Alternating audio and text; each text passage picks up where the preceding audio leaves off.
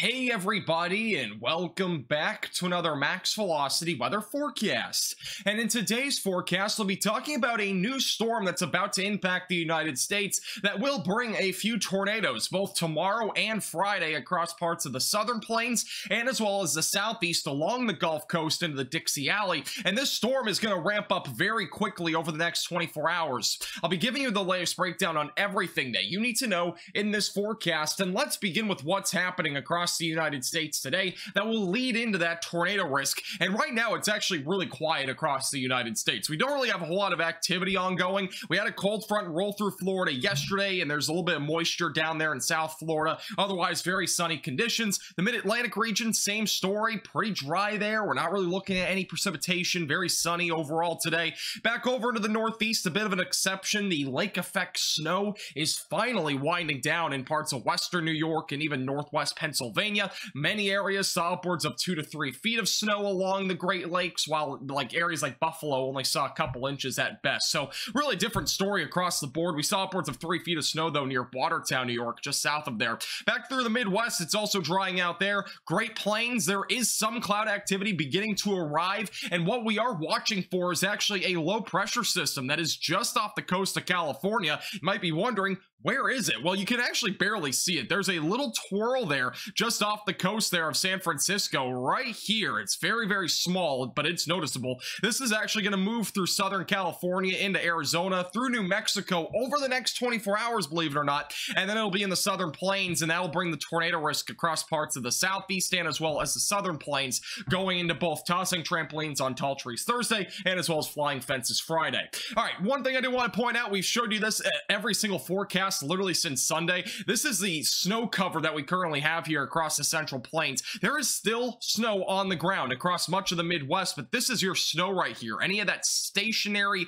white stuff that you're seeing here on the satellite imagery, that's actually the reflection of the snow, which is actually pretty cool to see. Oklahoma has all melted away with all their snow at this point. There's only some clouds passing right now. But yeah, very interesting stuff here. Again, we've been looking at this the last several forecasts, and you can kind of see the progression over time. It's very interesting to just kind of look at with how it's been melting over the last several days. Here are the watches and warnings across the country. Really nothing surprising here. The only thing that's been surprising is the freeze warning in effect for parts of Florida and southern Georgia, southeast Alabama. That was mainly for this morning. Uh, we do have some winter weather advisories in effect and even some winter storm watches in New Mexico. Otherwise, no watches and warnings right now. That will probably change tomorrow with that tornado risk that's expected across parts of Texas, and Louisiana, and a few other states. And again, we'll talk about that here in just a second. But one thing I do want to point out is the jet stream. Let's kind of talk about the weather pattern that's going to be impacting the United States over the next several days. Give you an idea of where the storm's actually originating from, which I kind of showed you here at the top, that we do have this low pressure system that's coming out of the Pacific Ocean,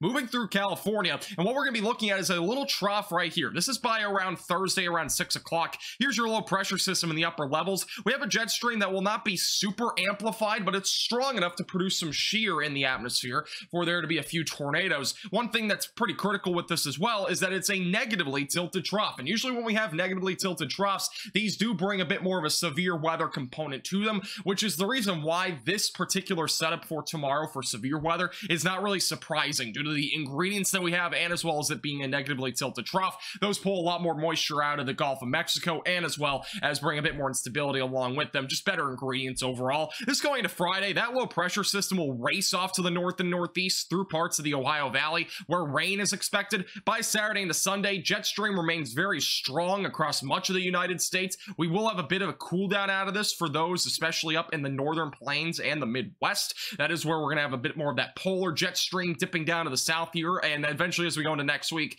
things do become a bit more uncertain. But I think we'll stay active on the East Coast for most of next week. Meanwhile, other areas back over on the West Coast will be a, a little bit less active overall. Now let's talk more about that severe weather potential for tomorrow. And actually, the Storm Prediction Center just updated this as I was recording. We do have an enhanced risk of severe weather. That is including parts of just north of Houston. So this is really for southeast Texas. A couple of changes here. This enhanced risk has shifted to the east in the latest outlook. Uh, one of the biggest things, though, is that we're looking at a tornado risk primarily for tomorrow. The damaging wind and hail threat are actually quite low. A couple things I want to point out, though. Houston is currently in that slight risk. I wouldn't be surprised if they do go under an enhanced risk for tornadoes tomorrow. And then areas like Galveston also also in the same boat of a slight risk. Lake Charles in southwest Louisiana and that slight risk. That enhanced risk does include the Woodlands, Lufkin, as well as back through Jasper, College Station and the slight risk. Marginal threat goes all the way back up into North Texas and southeast Oklahoma. However, this area is mainly going to be for strong storms. I'm not looking at much severe weather in this area. I think more than anything, some small hail and gusty winds might occur, maybe an isolated supercell or two, but tornadoes are very unlikely in that region. And believe it or not, this is again a tornado-driven enhanced risk, meaning that we do have a 10% probability within a 25-mile radius of tornadoes in this yellow shaded region. Tornado risk really gets cut off as we go closer to Waco, Texas and near Tyler. So just keep that in mind. Again, not really, really concerned about tornadoes in North Texas or Oklahoma, but definitely I have a tornado action plan in place for tomorrow in Southeast Texas and Southwest Louisiana. I do have a plan to go live, depending on the timing of this. It's pretty likely I'll be live, so make sure you subscribe to the channel and click the bell icon so you're notified if and when I do go live. Now let's talk more about the severe weather timing for tomorrow, and the timestamp is at the top left of your screen. Notice this is 4 a.m. tomorrow, so we're going to be looking at a lot of showers, maybe a couple of isolated rumbles of thunder in the early morning. Once we get closer to sunrise, we'll have some storms ongoing just south of Houston. I don't anticipate any severe weather this early in the morning, but once we get closer about 8 to 9 o'clock, that's when things might get a little bit more dicey. We're at least looking at some showers and storms going through Houston.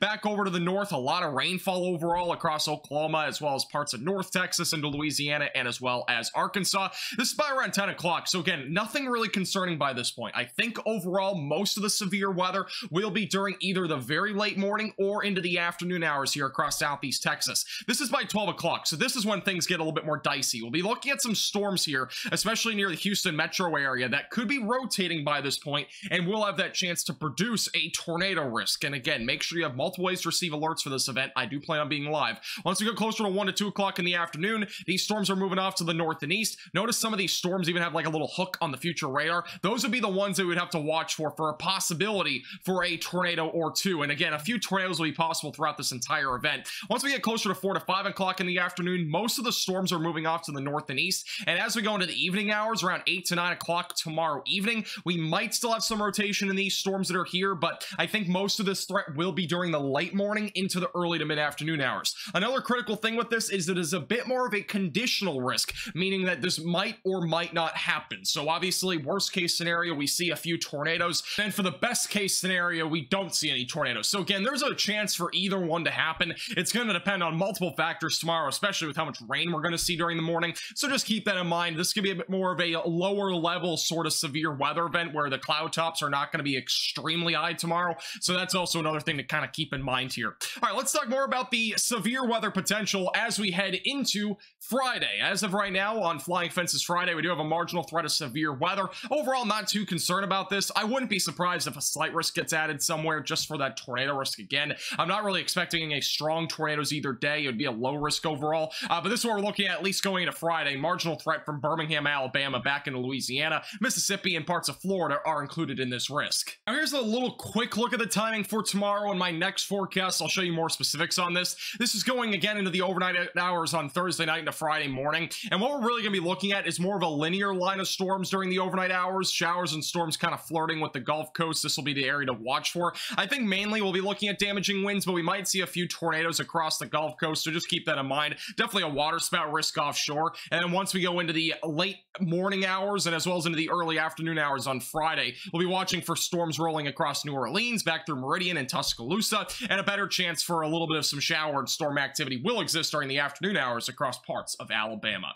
Thank you so much for watching. Make sure to like button down below and subscribe if you've not already.